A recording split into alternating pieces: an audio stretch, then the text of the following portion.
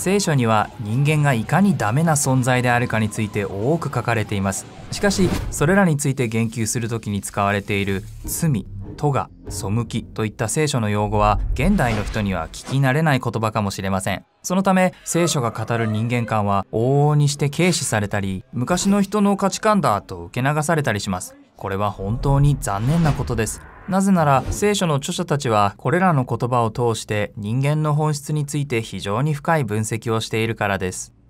罪は道徳的な過ちを意味し背きは人の信頼を裏切ることです。では咎とは何でしょうか？普段の会話では全く使えませんね。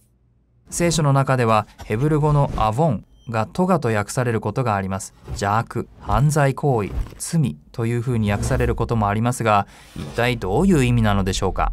アボンという言葉はアバーという動詞と関連していて曲がっている歪んでいるという意味です。詩篇38編には身をかがめるという表現がありますが元の言語では腰がアバーしているなのです。あるいは愛歌三章では通り道をアバーされた。つまり道がねじ曲げられたという箇所もあります。聖書の詩人たちはこの曲がっているというイメージを人々の行動について語るための隠喩として使いました。エレミア書ではイスラエルは神との契約を破り偶像に忠誠を誓ったことによって自分たちの道をアバーしたと言い呼ぶ記では道徳的な過ちを犯した人は正しいことをアバーしたと表現されています。どちらでも人の選択や良心のように本来平らで水平であるべきものが曲げられ歪んでいることを言っています。聖書においてアボンはあらゆる歪んだ行いのことを指しています。例えば実会にある嘘殺人姦淫またイザヤ書59章にあるような貧しい者への不正を見て見ぬふりをするイスラエルの指導者たちの堕落もそうです。イザヤはこの引用を巧みに用いて私たちにはたくさんのアボンがあり正しいことは私たちの町に入れないと言いました。エルサレムでは道徳的なことがあまりにもねじ曲げられていたために曲がったことがまっすぐに見えるほどだったのです。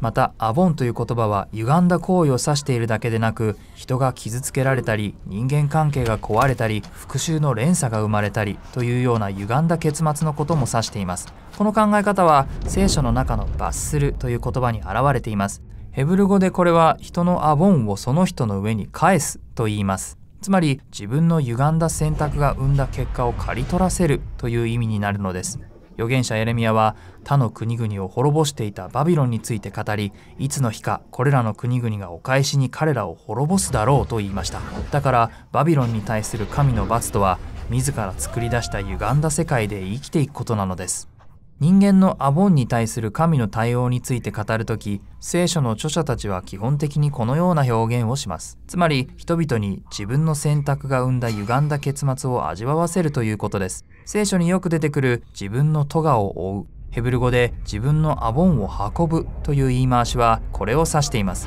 神は人間に自分の間違った判断の結果を背負うという尊厳を与えたのです。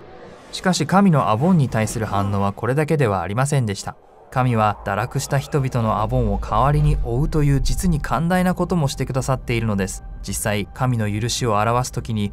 最もよく使われる表現はアボンを持つなのです。詩編32編では私は自分のアボンを隠さずそれを告白しました。するとあなたは私の罪のアボンを持ってくださいました。とあります。これはよく考えると驚くべきことです。神は人間のアボンの責任を取ることによって人を許してくださるのです。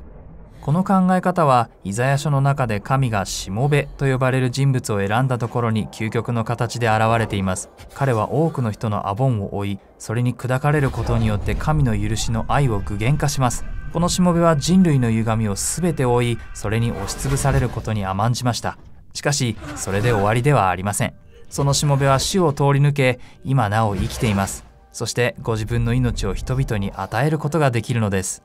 新約聖書において使徒たちがこれと似た意味を持つギリシャ語のアノミアを用いています。使徒パウロは苦難のしもべはイエスであることを示し大いなる神であり救い主であるメシアイエスは私たちをアノミアつまり歪んだ行いの結果から贖い出すためにご自分を捧げられたと言っています。